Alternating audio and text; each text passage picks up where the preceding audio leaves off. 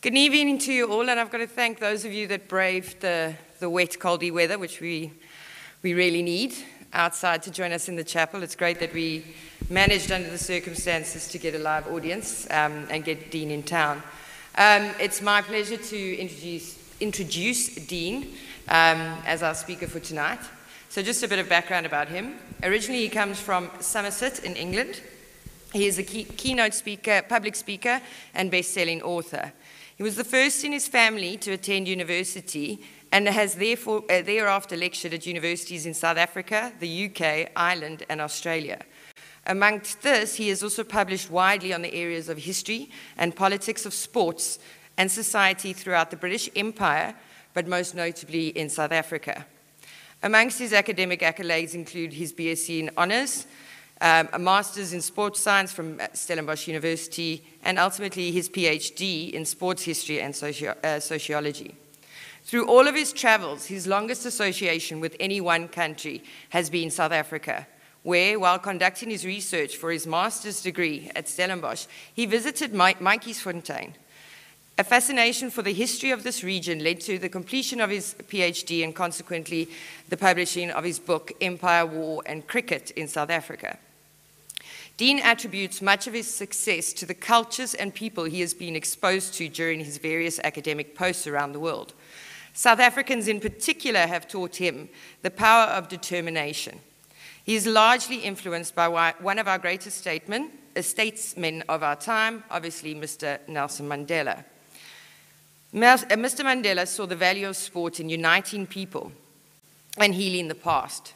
Dean sees him as an incredible visionary who understood the power of humility. Dean seeks to apply the similar principles in his work and believes that the roles of teacher and writer are privileged positions to hold in any society. Wherever Dean may go, his ties with South Africa and his bond with the rich sporting culture, past and present, run deep and will continue to draw him back to South Africa and its people. We were lucky enough that Dean um, presented an assembly to our pupils this morning and opened up this conversation. So I now hand over to you. Thank you so much. Thank you, Kerry. And uh, good evening, everybody. Thank you so much for coming along. And uh, I don't know about you, isn't it lovely to be in a room with real people? Um, as, as, as Kerry said, we, this morning we did a, an assembly and it was all online. I was actually based in Cradock and that is more stressful for a speaker to do some, something online than to stand in front of a thousand people. But first of all, I'd like to thank Kerry for incredible work in making this happen. We've got people watching us now live, via live stream and thank you so much, as I said, for braving this weather, which is more like England than it is South Africa out there today. Um, but it is so important that we start to, start to you know, get our lives back back in order. And one of those things is to experience live events again. I'm a, I'm a public speaker as well as a teacher, and for the last, well, 18 months or so, my work has been outlawed. I can't actually be in a room with people. So this is fantastic to have this event today. Now, those of you that have heard me speak before, I know some of the people from the, the Historical Society are here, will know that I'm quite well known for writing that book on Matjiesfontein. Well, tonight I'm going to be going um, rather similar, similar kind of vein, but I'm going to be broadening out this topic. When I said to Kerry, what would you like me to talk to the students and the staff about, she said, I quite fancy this idea of how sport shaped the world. And what that is, it's based upon my um, studies over the past 20 years and, the, and some of the lessons I've given at university because I've worked in sports universities all around the world. But here in South Africa, as Kerry said, this is exactly where I want to be. And we've moved back here, um, and we're excited to be back in South Africa. So I hope you enjoyed tonight's uh, presentation. For those of you that know me, um, it, you, you understand my passion for this country. But for those of you who don't, it sounds like I've just got off the plane, doesn't it? I've still got that incredible West Country accent, by the way. Uh, no, no matter where I've been, in Australia, in America, in Northern Ireland, strong accents, this accent sticks with me. Um, but people often ask me when I'm back in the UK, why do you spend so much time in South Africa? Why do you study sport there? And I, I've I had to explain, and a lot of people don't understand this complex country of ours. So I often at the start of my talks, I put up one image, and this image explains everything to people. That's why I spend time in South Africa. It's not a bad place to hang out, is it? I mean, to me, this is probably the greatest sports stadium in the world. You'll know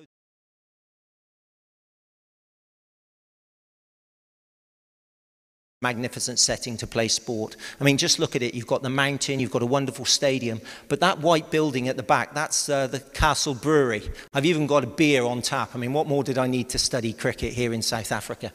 And that led me to write a master's degree and a PhD, which led to the book.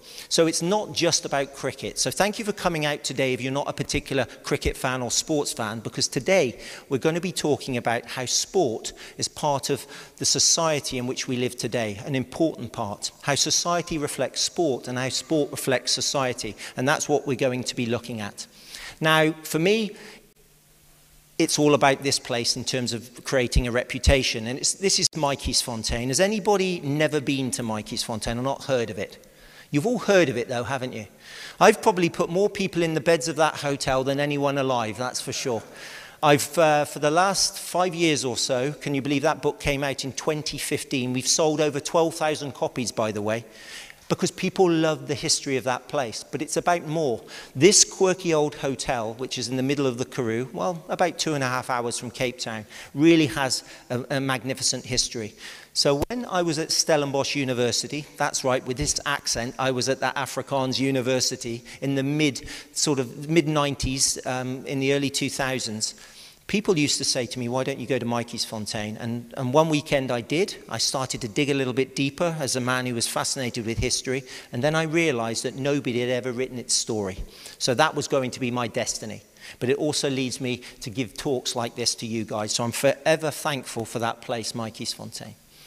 Now, if any of you have ever written a book or anything, can put anything, whether a song, a poem, and put it into the public sphere, you, I'm sure you still get a buzz when people enjoy it. So every, I must admit I do this. Every time I go past an exclusive books, I still check if it's on the shelves. And it is still there, which is fantastic. Perhaps it's not selling very well. I haven't thought of that. But here we have a copy of Empire War and Cricket in the exclusive books at the waterfront. But for me, it's about the fact that I can actually contribute something to this wonderful South African history.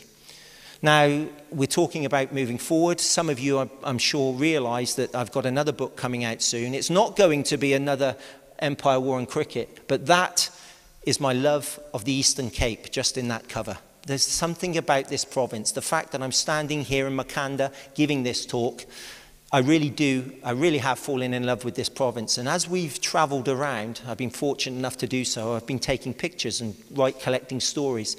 So currently in production is a book called Frontierland, because we are in the frontier. We still feel like that, I think, in Makhanda today, don't we? But that book will be coming out soon, so I hope you'll enjoy it when it does come out. So enough of the plug because we are in a place of great history. Now, we're not, I'm not going to give you a talk about the, the, the, the, the town or city that you know better than me, I'm sure. But you certainly recognize that scene, don't you? That's Church Square in the 1950s. And people tell me when I often put things up on Facebook, they tell me things that I didn't know. We're aware of the town hall and, of course, the cathedral. But there we have on the, uh, on the corner Bay's shop, which was, I believe, burnt down. It was, it's now the Lewis's store. And would you believe only this morning I met the architect that was actually behind rebuilding that magnificent building in the, in the early 2000s after it burnt down. So I'm learning things as I go along. For me, Grahamstown has such, and I will call it Grahamstown from time to time if you don't mind, because it is the historical context. It has so much significance in terms of the history of this country and in sport, as I will explain. Now, when I walk around a bookshop, as I'm sure a lot of you do, I look at the titles. Now, that title struck me Will South Africa be okay? It's a question that we always ask ourselves, don't we? I mean, every, every month there seems to be some kind of crisis, but will South Africa be okay? I believe it will be because of the people. And it's the people I found, I found my, my tribe when I arrived here in the mid 90s. I feel more connected to South Africans than I do to, to probably people in my home country. And often people back in the United Kingdom will say, Dean, what about the corruption? What about the dodgy politics? And I say, well, we've got our own problems there as well, you know. I'm not going to keep him up on the screen too long, by the way. It's a face I don't particularly care looking at. but we, it's all relevant, you see. We all have our own issues in, in, our, in the country. So it's a case of taking the good and the bad. And I believe if we have educational establishments like here at Kingswood in this wonderful, wonderful city, and we've got Rhodes University and of course the schools down the road, I believe there's a future for this country because this, it really is about the youth of this country. And this morning I was speaking to the students about having a sense of perspective about the kind of things they're going through at the moment. And I thought that was an important message. So we talked, didn't we, about comparing what was happening what's happening now in terms of COVID and what happened 100 years ago in terms of the Spanish flu. And boy, were they a lot worse off than we are today. So I think that's what history does. It gives us a sense of perspective. It gives us a sense of where we are now and perhaps where we're going in the future. And perhaps lets us understand where characters like this fit into our, into our um, society. Now, I'm not going to promote beer here in a, in, a, in a college, but this was the moment, you're probably wondering, what, who and what I was doing um, back in November 2019 when the Springboks played the English in the final. Well, that picture will let you know who I was supporting that day. And it was an awkward moment, by the way, because I was surrounded by a lot of English. I was surrounded by not only people in that bar where I watched it, but my best friend is a big rugby fan. He's a PE teacher, and you know they're patriotic, a physical education teacher. He's actually a rugby coach as well. We didn't speak for two days after he found out I was a Springbok supporter. But I got up that morning, and there was only one team I was going to support, and that taught me this is where my roots are because we all know how important sport is in this country. And perhaps again in 2019 we needed another lift. And where did it come from? It came from winning a rugby match. And if anybody ever questions how sport is important in society, certainly here in South Africa, moments like that tell us everything. Now, I've got a few videos I want you to see. Now, one of the things I'm proud, proud about is, is not necessarily writing a book or talking about sport. It's the connection I have with people through sport. And I think this video will tell us everything. If you can play this, thank you. Bring glamour every night. As do you. and more backslapping. Now then, you may remember we told you recently about a man called Dean Allen who's established links with a township in South Africa. Their football team was, was enthusiastic but couldn't play in their local league because they had no equipment. Mm. Well, Dean is a keen Bristol City fan and their kitman Roger Barton sorted him out with shirts, socks and shorts. That's right, and then he took them to Matjiesfontein, which is near Cape Town, and he's just returned with this film of his trip. They look very much the part, just like any other team lining up for the cameras. But this is the first time these players have ever had their own complete kit. They come from here, Matjiesfontein, and this is what the tourists see when they come to this beautiful outpost of empire. A highlight stop for the blue train taking the rich across the country, but they see only one half of the picture. This is the real Matjiesfontein, the other side of the tracks. A growing community of over 300 people, most living near the poverty line. Their passion football, their facilities basic. Every evening they turn out to play, practice or watch.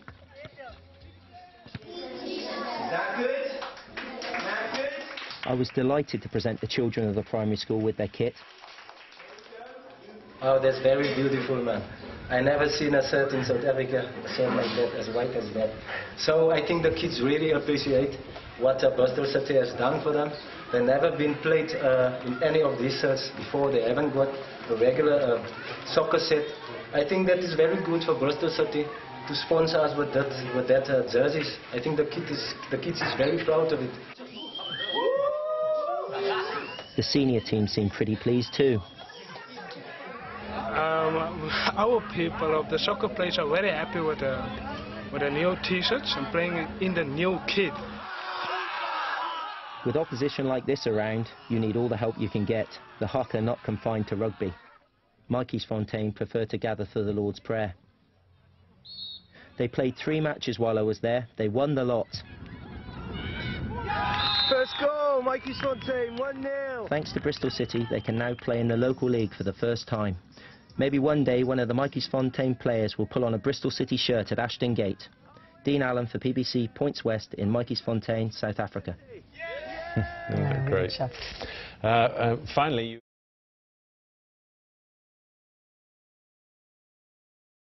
uh, uh, finally, you Well, that, that video really tells you my connection with Matjiesfontein, but the most important thing is the power of sport, and that really does tell us all. So would you believe that uh, those guys wearing the, the shirts of Bristol City, you didn't think you were going to meet one a supporter of that team tonight, did you?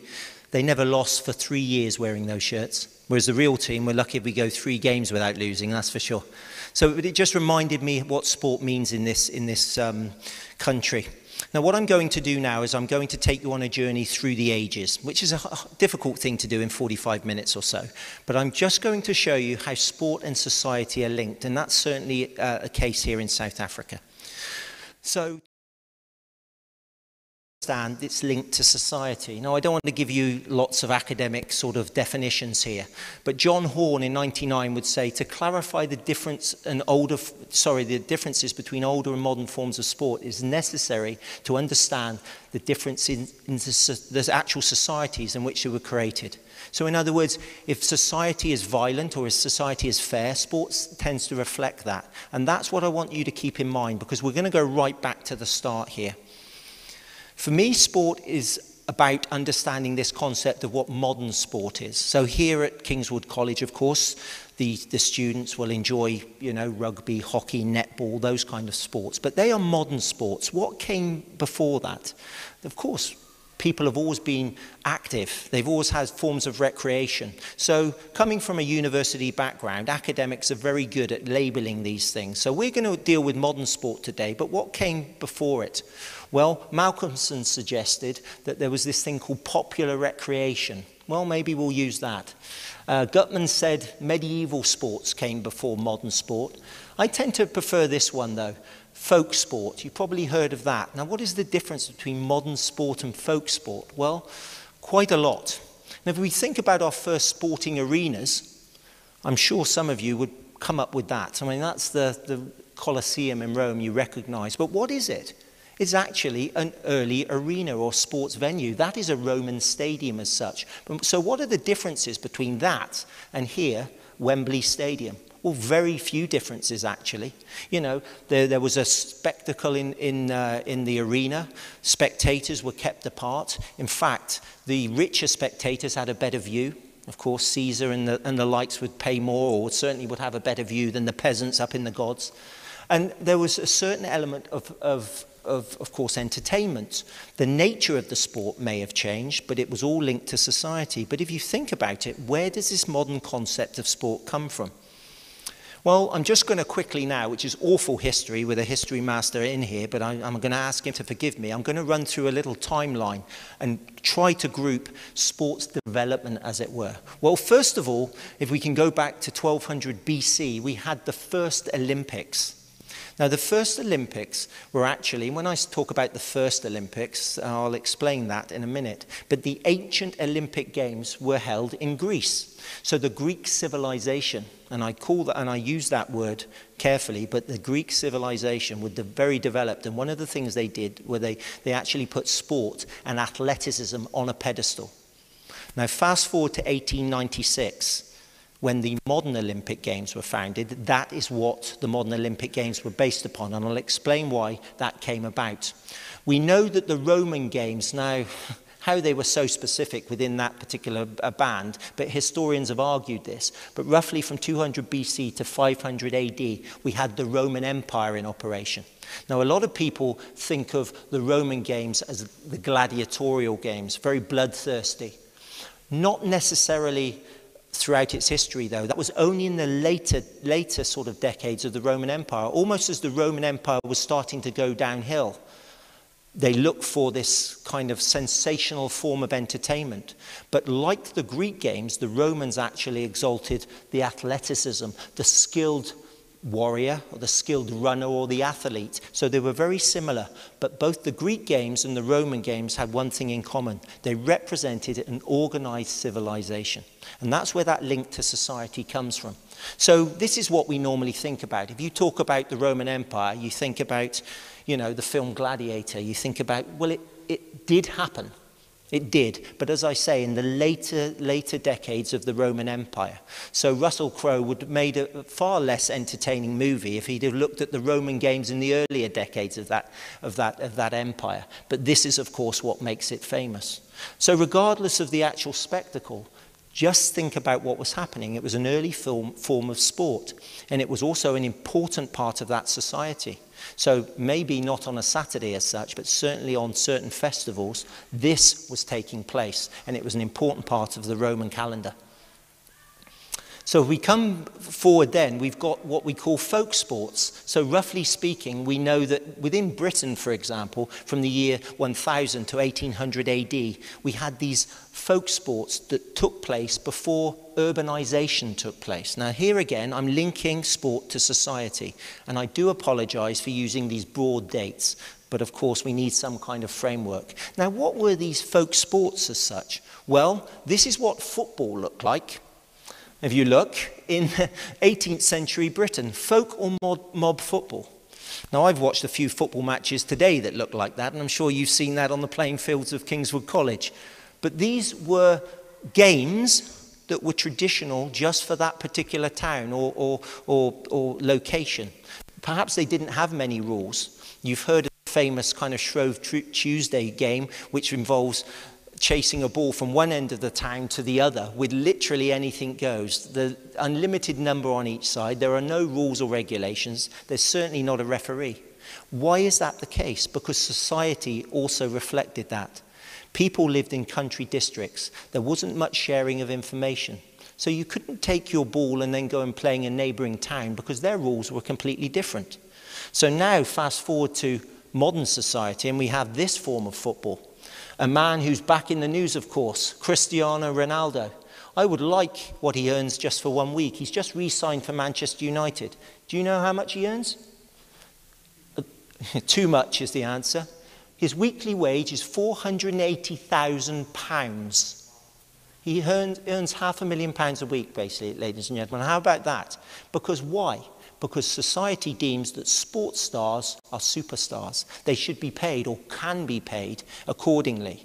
Now, that is how society deems someone like Ronaldo. He is someone that the, the, the youngsters look up to.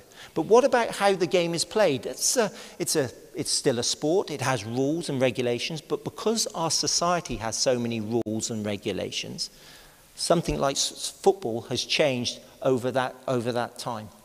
We'll come back to Ronaldo later on in my talk. So after, um, after the, the folk period, something happened within British society. And I'm, I'm referring to Britain, not because I'm a Brit or in um, Grahamstown. I'm referring to it because the British, I'm afraid, did invent modern sport. The sports we play today came from the public schools, the private schools, like Kingswood College, of Britain, and I'll explain why. But there was a shift in that important few decades in the 1800s. First of all, the British Empire took off. We know that Britain during that century was the most powerful empire the world had ever seen. And the British were very keen to spread their values around the world, and they used sport to do so. The other thing that was important was the Industrial Revolution in Britain. Because now people weren't living out in the country districts, they were now working in close proximity. Now, if you were a factory owner, why do you think you would encourage your workers to play sport? Well, it kept them on the straight and narrow. It also kept them healthy. And it meant you could manage smaller areas. And this is when, during this period, we have our sports grounds, our recreation grounds, and our clubs that are founded. Okay? But the most important thing is that sport was linked to education. Even here today, as we stand, I can see the guys out there kicking a football round and they're encouraged to do so or throwing a rugby ball because it was seen as virtuous. This idea that people should spend their time doing something that was productive and sport was important because, as I'll show you before, other things not so productive were quite common in British society. So, if Britain was going to be a world leader, the way people spent their leisure time for the first time they actually had leisure time. They weren't working the fields from dawn to dusk. They had set hours. They actually had a half day off on a Saturday. And why do we play sport on a Saturday afternoon? Because of the, these times. By the way, we play sport on a Sunday now, don't we? And that's something that's changed because you never played um, sport on the Sabbath during the 19th century. And then, how did this form of sport arrive here in South Africa? Well, it was all to do with this um, spread of the British Empire. And that generally came in the later part of the 1900s, because that's when this influence started to reach places, as I said, in South Africa. Now, we've got rugby fans in the, in the, in the room, I'm sure, and it's one of my favourite quotes. You've probably heard that. That rugby is a hooligan's game played by gentlemen, according to Winston Churchill. You know what they say about soccer, don't you? It's a gentleman's game played by hooligans. But it was this idea that now sports contain some kind of virtuous behavior. It could instill, instill lessons, even games like rugby. Okay? Now, I am a football player and a soccer fan, but I have to put this in because I thought it was quite good. And there's Ronaldo again.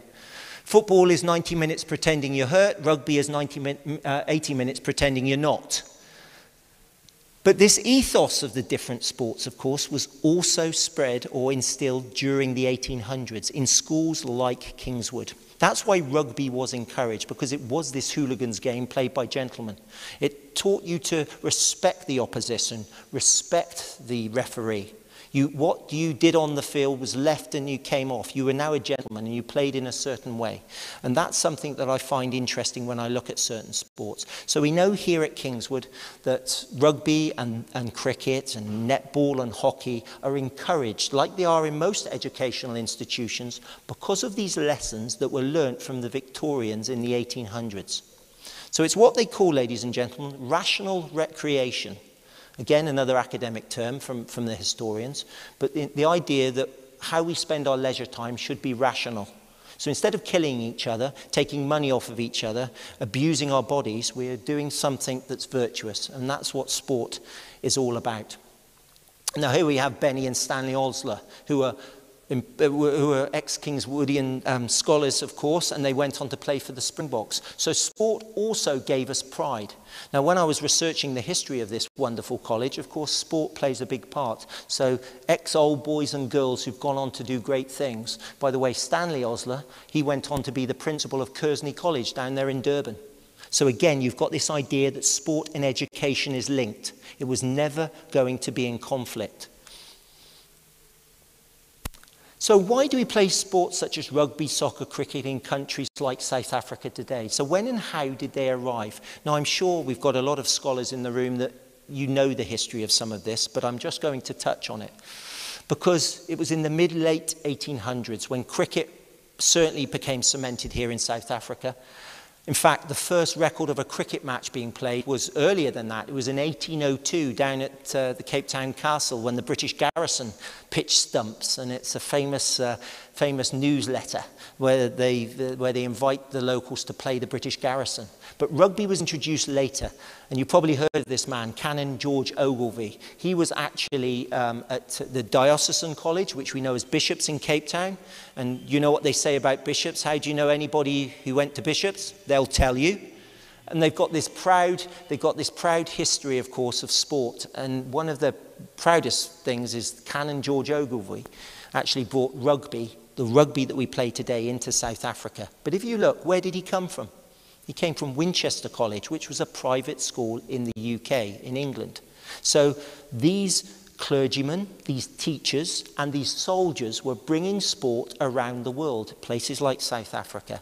And this is how it was instilled. So if you're learned men, if the people you respect in society are, are encouraging you to do something, you tend to follow it. And that's exactly what happened. The other thing was the early tours of empire. Now, if anybody has read my book, Empire, War and Cricket, you know the cricket tours were very significant at that time. But what they did is they bound this idea of empire together. If you played together, you did business together. Or more importantly, you fought and died together. So now you are part of this brotherhood, as I call it, in terms of empire. You've seen that map before, I'm sure. The, the, the countries painted in red a part of the British Empire in the 1890s. And as you can see, South Africa was part of that club. Over a third of the world was controlled by the British. Over a third of the world was now speaking English and, and being encouraged to inculcate and adopt British ways of life. Not just sport and culture, but also things like religion and language. That's why we are in a, in a beautiful building like this and I'm presenting in English. It was because this empire was so successful in instilling its values and sport was spread around the world. So if people ask me, well, why are, the, why are the New Zealanders so good at rugby? Why did the Indians play cricket? It's because they were part of the British Empire and those sports were taken there with a purpose. And some sports were taken up more than others for various reasons. I haven't got time to go into today, but I've actually designed university courses that look at this idea of sport and empire. And each case has very intricate reasons. But broadly speaking, the British transferred sport with a purpose and a reason. And this is where I get the title, How Sport Shaped the World. It's what we've got in common. It's why we play cricket against Pakistan. It's why we play, play rugby. I won't mention against the Wallabies this weekend. But we do. We play rugby against Australia because we've got that in common. It's the British Empire and it's that link. So the factors influencing sport. Well, number one is the public elite schools. Okay, these public schools in the United Kingdom in the mid 1800s. And by the way, I've got to make the point now. This was a men, a men only club. I'm sorry, ladies, you were not encouraged to go to these schools. This was games for the boys at this stage. But they bought into this idea of athleticism, this idea that you had a healthy body, a healthy mind, the Olympic ideal. Where did that come from? Well, we can trace its origins right back to the Greek civilization. Also, this idea of muscular Christianity. Clergymen would actually encourage the young men to go out and play sport. So, to be a good Christian, you're also a physical Christian, you're a sporting and a healthy Christian. And then we had the codification. And if you look, the codification where rules were given and governing bodies were formed, roughly were formed in the same kind of decade. The Football, Associ- uh, Football Association in 1863, the Rugby Football Union in 1871, the Lawn Tennis Association. Because now, schools like Kingswood wanted to play schools like St Andrews. And if they were going to play a common game, they had to play the same rules. So therefore, you needed a governing body. And if you wanted, if Graham Grahamstown wanted to go down and play Port Alfred in a competition, they had to agree to the same rules. So it was no good now having your localized folk games. And this is how society was changing. We have these governing bodies, something like the Football Association. And we're so used to now names like the IOC, the Olympic um, um, Committee. We're used to the uh, FIFA and these governing bodies. This is where they started, which is interesting. But the good old Victorians, and I love the Victorians, my book is all about the Victorians, they were into, into discipline. They, they lived a, a certain way. Maybe they were certainly hypocrites, but they recognized that sport would encourage moral training. This idea of leadership. So, to be a captain on the rugby pitch, you are going to be a good leader of men. You're going to be a captain of society and maybe industry. I've mentioned rational recreation. Well, the Victorians didn't want people in the dare I say, the pubs and the brothels of a weekend. So therefore, they wanted their, their, their men, their workers, their leaders playing sport. But they didn't like people getting paid to play sport. Now, this is where this incredible contradiction comes up. Today, I've already mentioned how much Ronaldo gets paid. Nearly half a million pounds a week. Isn't it obscene just to say it? The Victorians would have looked down on Ronaldo because they said you played fun for the love of the game and for what it did, not for extrinsic or financial benefits. Again, it's a link to society. What is one of the things that we hold highest in society today? Well, this idea of capitalism, this idea of wealth, of material things. Therefore, people like Ronaldo are held up on a, on a pedestal because what they can earn through their skill and expertise. Again, it's a link to society. So I'm talking about where we've come from, but even in the 1890s, somewhere like London was still a hotbed, perhaps, of, can we say, animal sports, gambling, gin palaces, etc. All of a sudden, those in authority, the government, started to introduce things like museums, exhibitions, parks. They were very keen on sports clubs because it meant that society went from this kind of activity of a weekend, bear baiting, would you believe, Let's go down and watch some bear get ripped apart by a pack of dogs. I mean, it's incredible. But that's how society was because it was quite bloodthirsty and you didn't have the rules and regulations. All of a sudden, the Victorians now were encouraging this kind of, this kind of activity.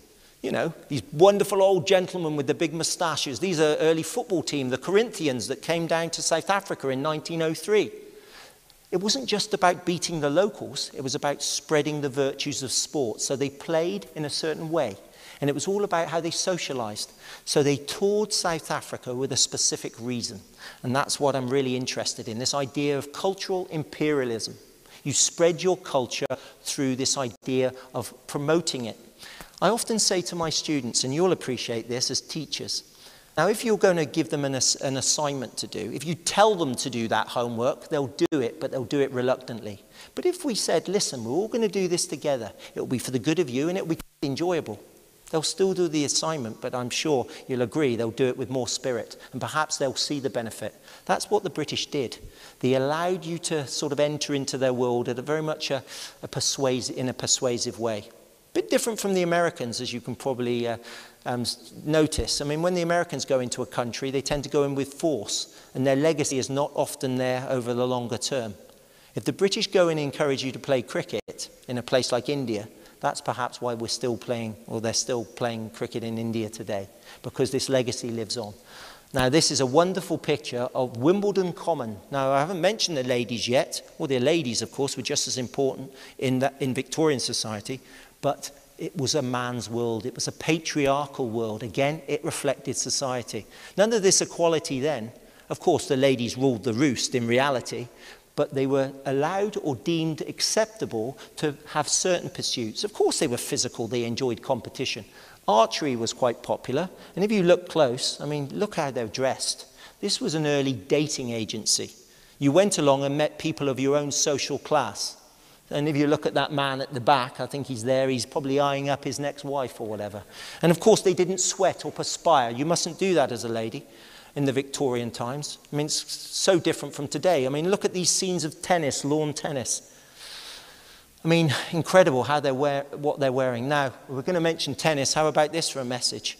And I've got to put this in because if anybody watched what happened over this weekend, an incredible message. And I had to speak to the students about this. We have a 19 year old and an 18 year old, two young ladies that came from nowhere to compete in the final of the US Open at Flushing Meadow this weekend.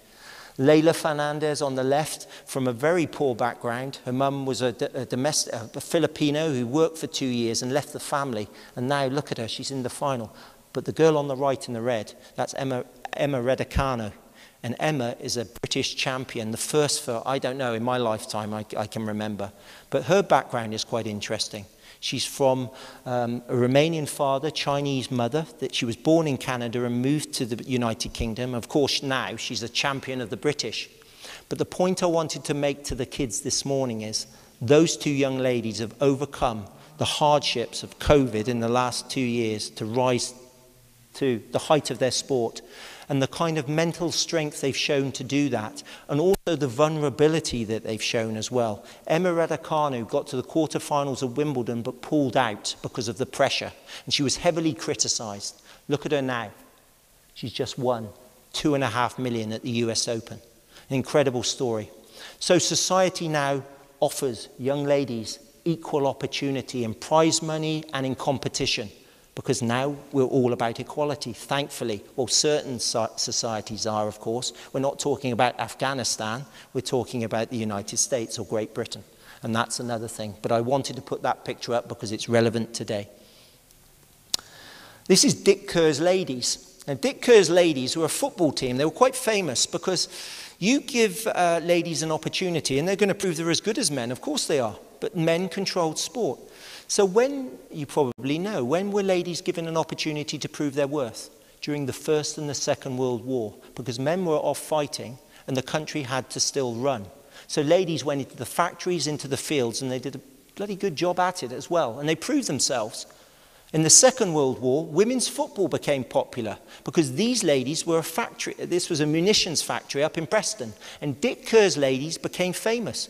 Do you know this team once played to 35,000 people at Goodison Park just after the Second World War?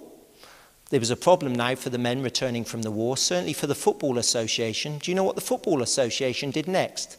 They banned women's football in the United Kingdom until 1971.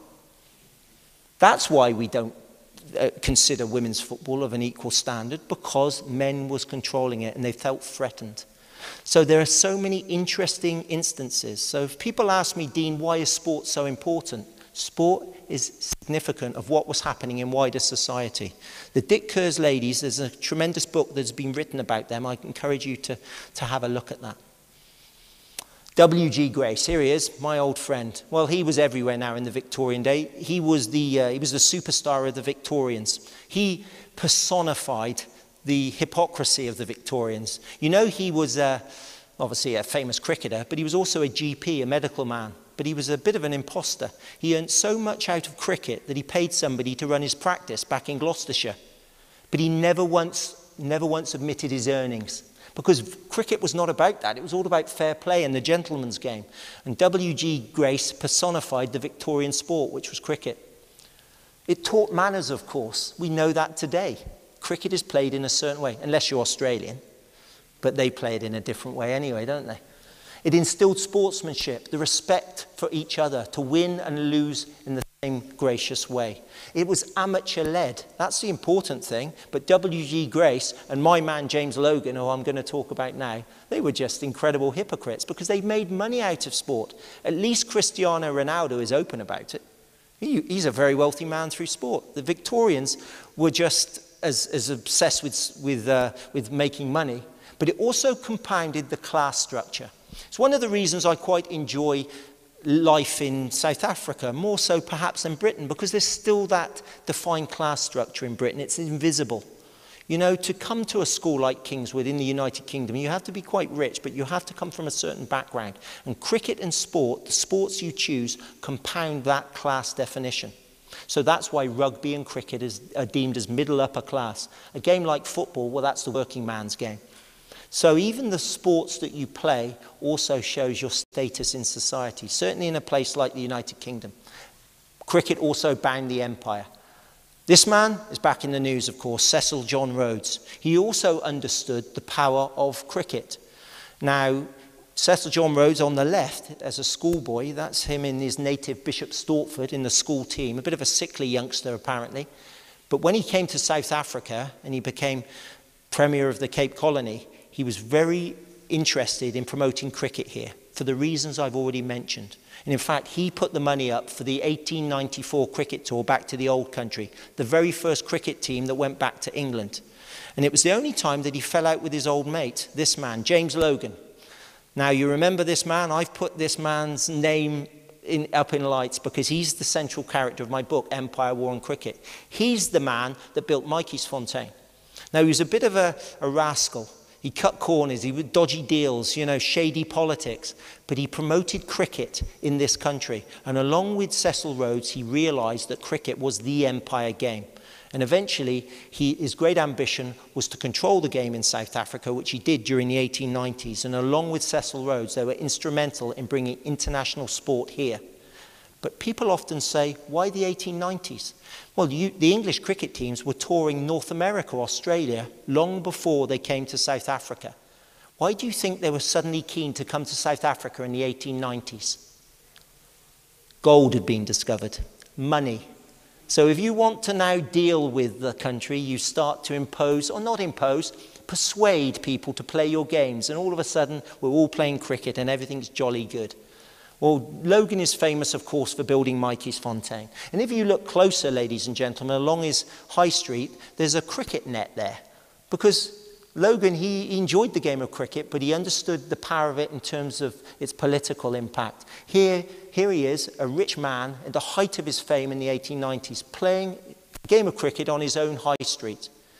When I looked at the scorecards, of course, Logan enjoyed playing a game, and he always seemed to get double figures against the English touring teams that came and played against him at Matjiesfontein. And somebody once explained, well, you know what happened? He would come out, and uh, if, the, if the fast bowler took his middle wicket too early, he'd just stand there and put the stump back in the ground and carry on and get 10 or 12. Well, it was his hometown, wasn't it? This is how the game was played. You see, it was all about status and about the socialization of the game. For those of you who have ever come to my talk about Empire War and cricket, you will remember the wonderful story of how James Logan actually sponsored the 1891 English team to come to South Africa. Sponsored. He put the money up for them. I've seen the letters between him and the English cricket captain, the chap on the right, Walter Read. Walter Read and Logan agreed that they would share in the profits. But unfortunately for these guys, they didn't make the money that the first tour had made, Major Warton's tour of 1888. The English thought they were going to slip away without paying back their debt. Oh, no, they didn't. Our Scotsman has the English cricket team arrested as they board the ship at Cape Town Harbour. Can you imagine when I tell that story in Scotland? A Scotsman arresting the English cricket team. They think it's fantastic. Get in.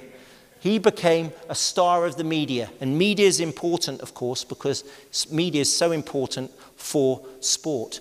London County versus Logan's team in 1901. Do you know that James Logan, what a chancer, he takes his own South African cricket team back to England while the South African War is being fought. The South African War, he's featured, and there, London County, there's W.G. Grace. This is his professional team where he makes money. They're all helping each other. It's not what you know, it's who you know. Nothing has changed. Politics rears its head. These two chaps, John X. Merriman on the left and James Sivewright, well, they were part of Cecil Rhodes's first ministry, and you probably remember the story if you read the book. James Sivewright on the, on the right, James Logan's big mate, he was the guy that gave away the government contracts. James Logan was a railwayman who made money out of the refreshment facilities, while his mate on the right in the government gave him the monopoly of all the refreshment facilities on the railway for 18 years without putting it out to tender. Does that sound familiar? Does that sound familiar? But do you know how James Logan could get away with it? He was a cricket man, he was a gentleman, he was a sportsman. He used sport as a smokescreen. Think about comparisons today. I don't know, someone like Roman Abramovich, owner of Chelsea. We don't know how he made his money. We don't care because he's a good old football man. You see, sport cures all evils. That's something we can see about society today. So, to go back to my final point here, I want to look at war and empire and the fact that colonial loyalty came into this. These wonderful old, um, car- um, not cartoons, these, these posters actually relate sport to this idea of, of, of honour and patriotism. If you can see the greater game, that is Mr. Punch there in 1914 saying to a professional soccer player, can, no doubt you get glory on this field, my man, but you can get honour in another field, and you know where that was, on the fields of, of France and the Somme. But the rugby boys, they'd already signed up because rugby was a middle upper class game. They did not play sport while war was being fought. But the soccer players did, because soccer was always a game of the working class. As beautiful as that game is, it was taken on by people because, it, in many respects, it's less complex. So it spread around the world as a working man's game, as opposed to the cricket and rugby um, characteristics of the other two sports. So you can see there's a constant link to society which reflects what is going on in that society. If you could play that for me, please. Thank you.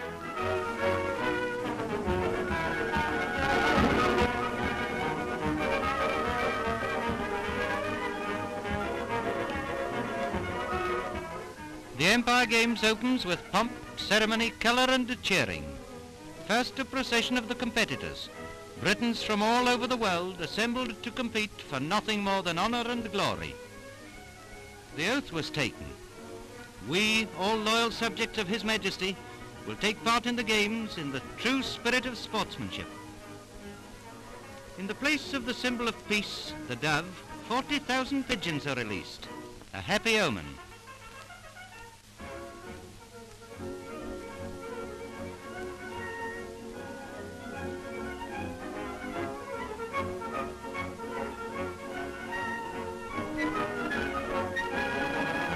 The opening ceremonies, the various contingents march off and the games begin.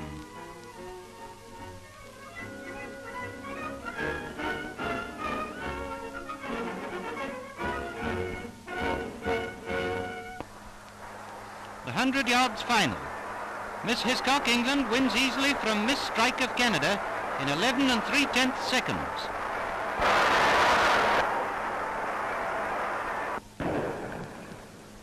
Half mile, which was an outstanding event, Today, no record was broken, but Edwards' win by eight yards made it a great and unforgettable race. At the bell, the British Guiana representative was leading by about 10 yards, and all Stothard's, Botha's and Powell's efforts to overhaul him were of no avail. In the meantime, the field events were being desperately fought out.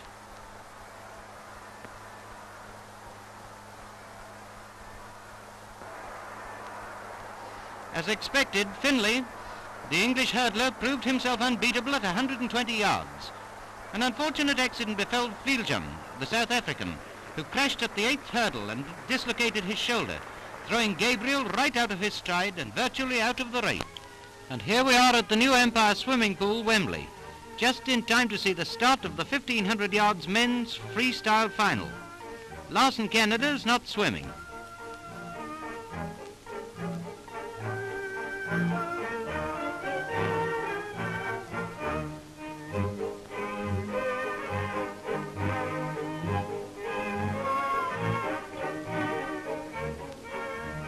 Ryan, Australia brings the crowd to their feet with a wonderful burst and wins by three yards.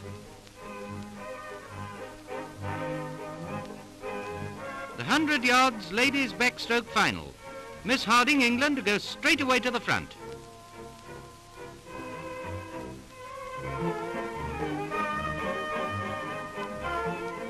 She wins comfortably from Miss Hamilton, Scotland, in the good time of 13 and 4 fifths seconds.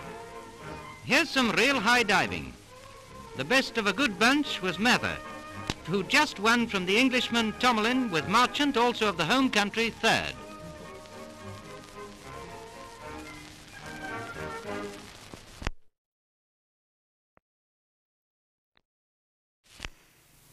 Wonderful scenes, wonderful scenes there, you can say. That was actually the first Empire Games. The Empire Games became the Commonwealth Games. If you want evidence of how sport actually defined um, the empire, it's, it's actually the, the existence of that game. So we know South Africa are part of the Commonwealth still, or certainly in terms of sport. But somebody else had other ideas. We talk about we had the, the so-called Nazi Olympics, but the Berlin Olympics, and we know how Adolf Hitler actually got hold of the Olympics as a propaganda tool. He promoted his regime, he promoted how efficient Germany were, and a lot of the countries there, of course, didn't realize the horrors of what was coming next.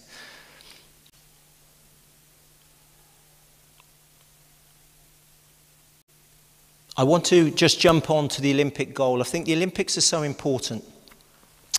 If you look, if we've just had, if we just had uh, the, the Nazi Olympics in 1936, the Olympic goal says that it should place sport everywhere at the, at the with a view to encouraging the establishment of a peaceful society concerned with the preservation of human dignity. Not once have they mentioned winning or success in any way. It's all to do with the preservation of society, dignity, how we treat each other. And that's what the Olympics are still about today. And do you know that even today, the athletes take the Olympic oath? You see, where did the Olympics come from? We know now it came from the ancient Greeks. The ancient Greeks, of course, were very much, certainly in terms of sport, different uh, one thing I hope you will notice is they didn't wear clothes. It was a men-only naked event. But you'll certainly see here that certain, um, certain traditions were taken on. So we can see the Olympic flame that we actually use still today. I mean, the wonderful muscular bodies of these men it's something that we still um, revere today. You know, this idea of muscular Christianity to be a healthy human and this athletic body that, that a lot of people still strive for. But as you can see, it was very much um, without clothes, as it were. What's happened to my... Here we have a pentathlete. I mean, a lot of these images, of course, come from, come, come from drawings, etc. But the Olympics are something that we still do today, but at a, certainly at a different level. Tokyo is an interesting um, case, of course. Just look at this, how they promoted this year's Olympics.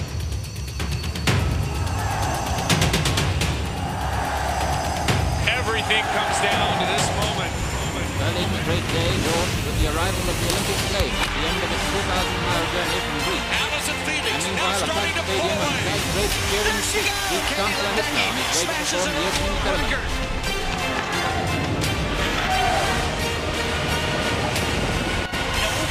it like Simone.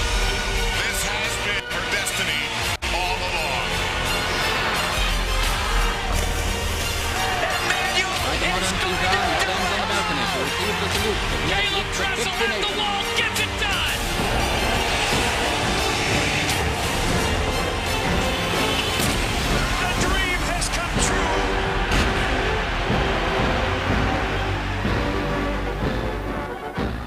The Olympics reflect sport and society today, a multi-billion dollar industry, of course. And I think you can probably notice there, there was a lot more emphasis on being successful and winning. But at the bottom of it, it's still this idea of taking part and playing in a certain way. And we don't often talk about the earnings of the, of the athletes, do we? We're not really how, sure how much they earn because that is not the Olympic ideal. They're there for a certain reason, and it comes from the Victorian age, as I've said. And it, that last point I want to make, professionalism and sport business, money. Now we, I'm sure you'll agree, we live in a capitalist society where money is certainly one of our gods. And the business of sport is why we at university, we encourage students to come and study sport management and business and those kind of things. If we look at our friend Ronaldo, we know he's a, a, a billion dollar ticket. He's a walking billboard for the advertisers because advertising and sponsorship is also part of the modern world. Um, I was having a discussion with a friend recently of how DSTV now want you to subscribe or at least to share your subscription because they get more money from advertising than they do from the actual money we pay for subscription. So this idea that DSTV is there to entertain us, well, it's obviously there to, for us to look at advertising. And what's the main reason we all subscribe to DSTV? The sport. Sport is so important in society in terms of entertainment.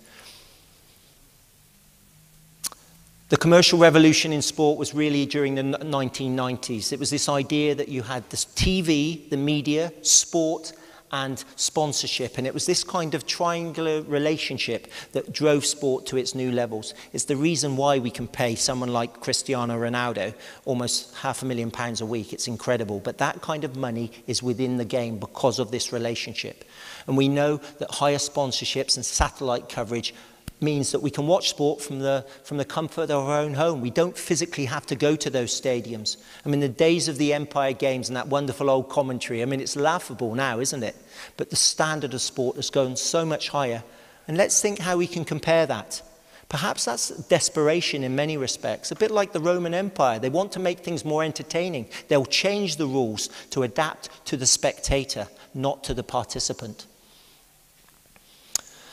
Well, we know it's, uh, the, it's, a, it's a good old saying, but I quite agree with it. In the olden days, fame used to be created by doing something, good or bad. You know, Hitler was famous. But now, sport is certainly a way of creating some kind of fame. And we have this celebrity culture everywhere. James Logan bought into it. He would invite famous sportsmen to Matjiesfontein, so it's nothing new. But now, celebrity culture is part of our society, so it's part of sport. So it goes beyond the public, the, the public, their public persona goes beyond the sports field. We know that. Does anybody know who that is? Probably one of the most famous footballers of his generation in Britain. That's Sir Stanley Matthews. I mean, look at him. He looks like an old man there, doesn't he? Well, that was a 1950s footballer. This is a modern footballer. A great soccer player, don't get me wrong, but David Beckham's more famous for, the, for his brand marketing and his business acumen. And it's all about this celebrity culture, you see. Another famous person, certainly here in South Africa, is Caster Semenya. The media portray people in a certain way.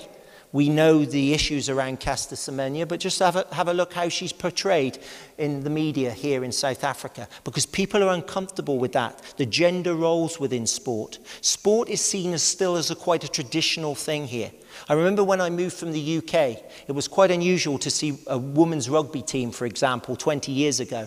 That, thankfully, has changed because our gender roles and equality has started to come through.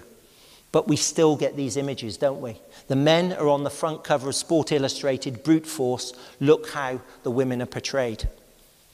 Now, that is becoming less and less because sport is reflecting society and the equality within society. And I think these are important lessons for our young people to learn.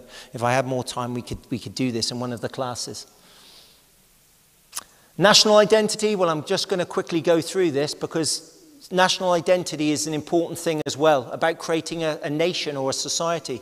I mean, South Africa didn't exist 150 years ago, but now we know about South Africa as a country because we play the same sports. We wear the springbok. It is part of creating this idea of a community, this imagined community that comes through on the sports field. What about these countries, the smaller countries, places like Scotland and Wales? Well, I love Scottish and Welsh people, but they're very patriotic. This quote is one of my favourites. In 1977, the Welsh captain, Phil Bennett, said, Boys, these English you're just going out to meet have taken our coal. They've taken our water. They've, they, they've taken our steel. They buy our houses and live in them a fortnight a year. Down the centuries, boys, these English have exploited and pillaged us, and we're playing them this afternoon, boys. It's all about the identity. And that's the Scots and the Welsh for you. They've got this identity through sport, and we can see that. It's this idea of a nationalism that comes through sport. We can see the images. People would, you'd think I was crazy if I walked down here with my face painted in a, in, a, in a South African flag singing the anthem. But if I did that on a Saturday supporting the Boks, you'd let it go because it's part of national identity. Sport is so important when it comes to that. It can also seal divisions within a nation, heal divisions. 2019, we had Siya Kolisi lift the Webb Ellis Trophy. The first African captain of the Springboks. Not only that, a successful captain. What did that do for racial harmony within this country? Well, more than the politicians could ever hope to do. And that kind of sentiment, of course, goes back to other things. But I think there was someone behind that, by the way, when you look at politics. Um, I saw this online, I just had to share with you. Isn't that just magnificent? Let's make the Springboks great again. And that's what he did in 2019. Well, not him, Rassie Erasmus did that, of course. But it goes back to 1906. 1906, the first ever Springboks. Do you know that the first ever Springboks that went to the UK contained players that had fought against each other in the Anglo-Boer War just four years before? They'd have shot each other. Now they're playing in the same scrum. That is why I study sports history in this country, because of magnificent stories like that. That will be a book in the future from me, so please don't steal that idea, will you? And then what happened in 2010? You talk about uniting a nation. Well, this lady came down. She said, It's time for Africa. We had the 2010 FIFA World Cup. It brought the country together. We're going to skip that. Just a little bit. One minute. Okay. That, I don't want to show you Shakira, sir, because it might put you off my talk. She's quite a nice looking lady. But 2010 was so important because it brought this country together. We actually achieved something remarkable. We held a, a, mega event and we did it very well. And in fact, it was one of the things I came back down to South Africa to do, to do the research, to understand the social significance of the 2010 FIFA World Cup. And that old man certainly knew the power of sport, didn't he? He certainly knew what that would do for this country. What a wonderful quote that is. Whatever the result of the match tonight, one thing is for sure England have never played in a more beautiful setting. They built that, that stadium, of course, for billions of rand. Um, Sepp Blatter, who controlled FIFA, wanted that stadium built. But we know that it put South Africa back on the map. People are now visiting us a decade later because of what they saw during the World Cup. But it did cost us a lot of money, but that's another talk. I'll, uh, I'll let you know the secrets about that as we go on. But our background is troubled. Frank Braun, who was the president of the South African National Olympic Committee, said this in the 80s. There was a racial element to South Africa at that time. I'm not going to go into apartheid now. We haven't got the time, and certainly haven't got the emotion tonight. But we do know that sport is built upon race here in South Africa, as it is elsewhere. And that is one of the things I will always say that South Africa during the 50s and 60s, it remained the last bastion of officially sanctioned racism. It meant the sport was also played along that way. In 1958, the South African Sports Association was formed. It was a non-racial sports association. But eventually, sport started to change society here. You remember the slogan, no normal sport in an abnormal society? The boycott movement. How did people start to change the way they thought? Well, as South Africans, we love our sport. And the one thing you'll you, will hurt us if we remove competition. So that's what the boycott movement decided to do, the rest of the world. But the rest of the world were, were also racist. Let's make, make that clear. But here in South Africa, we had apartheid. And then, of course, we had this idea of civil disobedience that changed everything. But we know, if you look at the records of a wonderful place like Makhanda, all people of all colours and backgrounds were playing sport from the start. Even during those early days of cricket down in Cape Town, the first coloured cricket clubs were formed. In fact, some of the first sports clubs here in the Eastern Cape are African sports clubs. So now we are starting to rewrite our history books, the rich history of non white sport in South Africa. So thankfully, the, the uh, records are opening up. But as I mentioned, we're not the only country with this problem of racism that still exists. We can see it every weekend, certainly in international soccer. There's always incidents. I believe here in South Africa we are dealing with this awful, awful phenomenon that we call racism. Probably as as well as anybody else. At least we talk about it. You remember 1981, the New Zealand tour, going over there, the flower bomb and, and things like that? I had the privilege of meeting captain of that tour, Wynand Claassen. And there's a man who understood the context in which it was operating at the time and the incredible dynamic. But these kind of incidents made people aware that politics and sports were not separate. But also in 1981, we had this man. Did you know a guy called Errol Tobias was the first uh, non-white player to represent the Springboks when he played in a test at Newlands? Not that well known. We all tend, tend to think of Chester Williams, but Errol Tobias was the man. And then what happened? In 1990, F.W. de Klerk decided, or certainly in negotiations with the ANC, the new South Africa was going to be founded on sport. In 92, what did the Olympic Committee do? They decided to invite South Africa back to the Barcelona Games. So there we are. The approval is through sport. That's how important it is within society. And in 95, that happened. They've even made a film about it in Hollywood, Invictus. Morgan Freeman and Matt Damon playing those wonderful characters. You know what that means, that image. If there's one image that shows you the importance of sport, it's when that man put on a Springbok jersey and handed the Webb Ellis trophy to Francois Pienaar.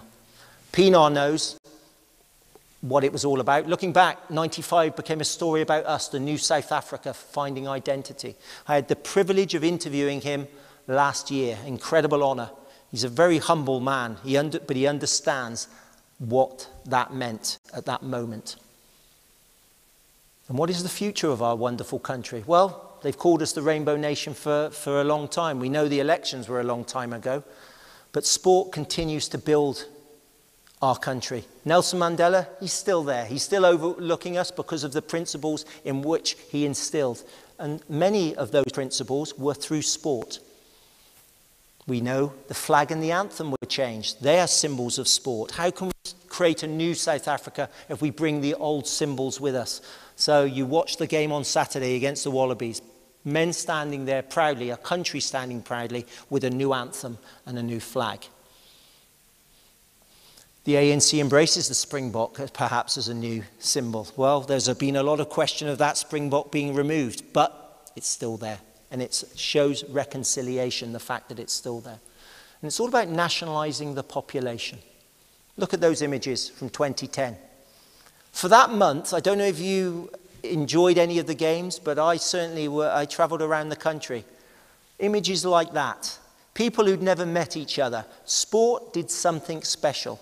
Unfortunately, it didn't last for long, the party. They all went back into their own areas, but that's natural.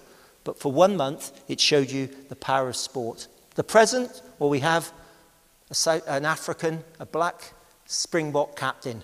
Women's rugby is now played openly in South Africa. Perhaps gender equality has reached us at last. Society is changing, therefore, sport is changing. And I want to end with this, ladies and gentlemen. As I said, this man, I think he inspires a lot of us. He's, he's, he's a controversial figure, figure, don't get me wrong. To a lot of people, he represents something else. But one thing he did understand was the power of sport. And you've read that quote many a time because Nelson Mandela understood the power of sport and, and perhaps its role in society. This, I hope you've enjoyed this uh, very, very brief synopsis of a course that I've got online. If you'd like to learn more about it, please get in touch. How sports shape the world. As I said, I've tried to put in the best part of an hour there, what's take, what takes me months as part of a university course, and it was a really difficult thing to do.